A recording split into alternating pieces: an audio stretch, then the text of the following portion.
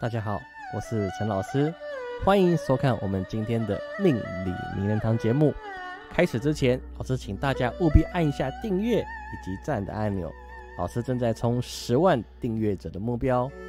原创节目制作非常不容易，不会花您太多的时间，但是是支持老师原创的动力。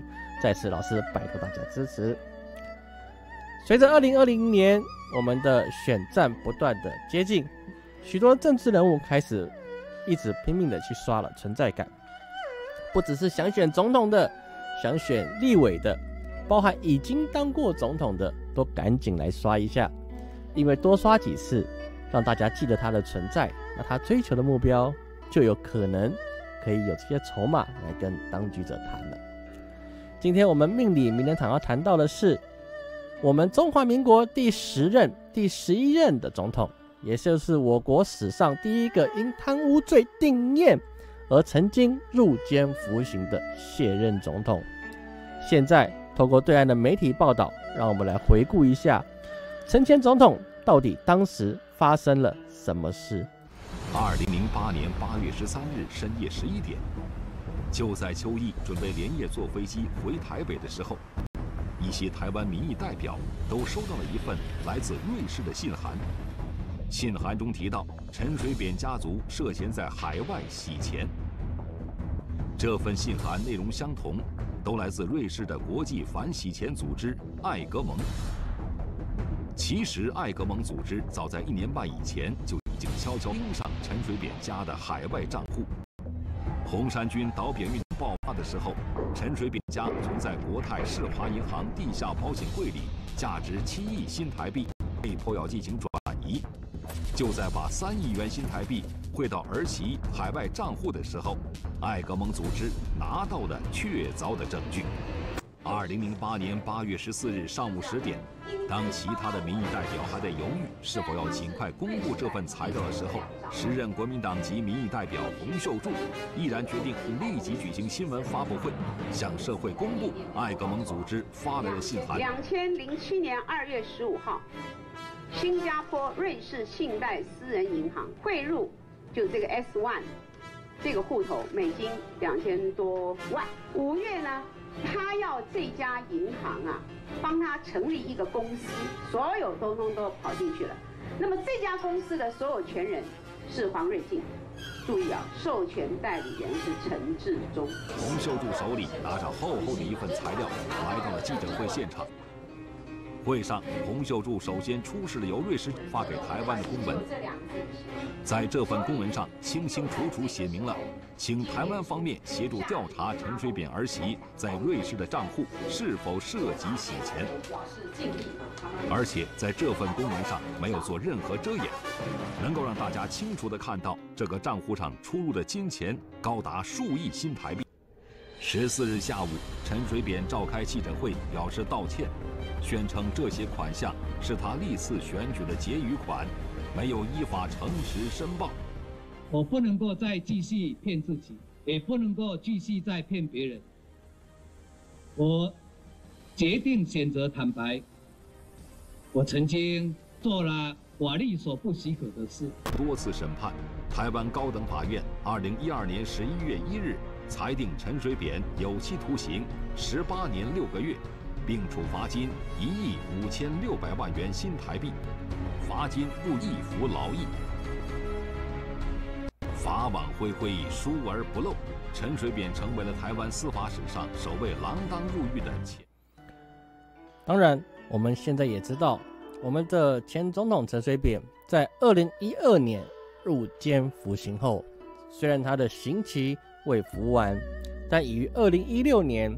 由时任总统的马英九总统任内，获得了什么保外就医，目前居住在高雄进行的居家疗养，而且陈水扁总统仍积极的寻求现任总统蔡英文总统的特色，让他能够恢复完全的自由之身。但随着时间的流逝，直至蔡英文总统第一任的任期即将届满了，又即将面临的。民进党的连任危机，陈前总统的动作也开始频频，似乎是不断的提醒蔡总统：“你好像忘记了什么事情？到底我们陈前总统是否能达成所愿，获得特赦呢？或是他会被他人的政治利益考量而又被关回去呢？今天我们的命理名人堂就来分析我们陈前总统的特色路。我们陈前总统的出生时间为一九五零年十月十二日。陈前总统他的现年也为六十八岁，以目前的政治人物来算，他还是很年轻的。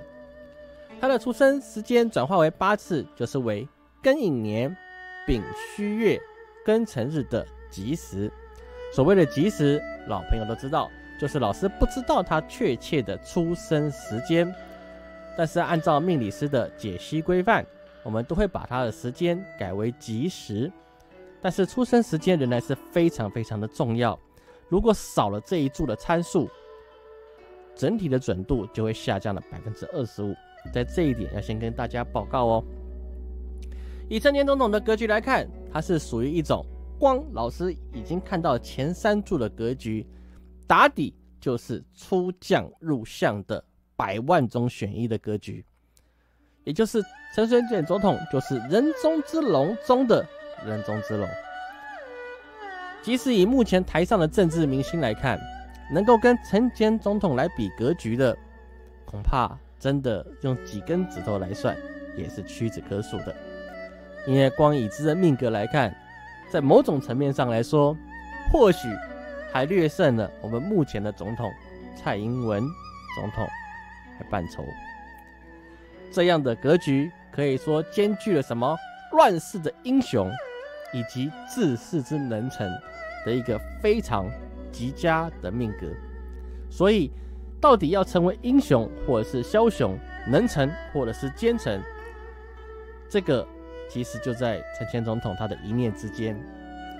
以老师不完整的命格次序来看，如果陈前总统他是出生在对岸，并且有机会能够入党从政，那你他的格局或许都有可能有机会，哦，慢慢的历练，可以去角逐。他们的中央总书记的候选人的可能，也就是他如此英雄的格局，如今却从帝王的云端掉入了罪人的泥潭，必须要用一秒抖六点六下的方式来规避回监的可能，也真的是令人不胜的唏嘘。而前中陈前总统的运势在岁次己亥年可以说是非常的猛烈。因为他的格局可以说是今年强盛到什么地步呢？可以足以碾压了今年的太岁。加上他现有的格局资讯，可以说他的运势可以是如鱼得水，非常的顺遂又强势。如果陈前总统他想要脱去他身上的带罪之身，那或许今年是未来十多年内他最好的机会了。当然。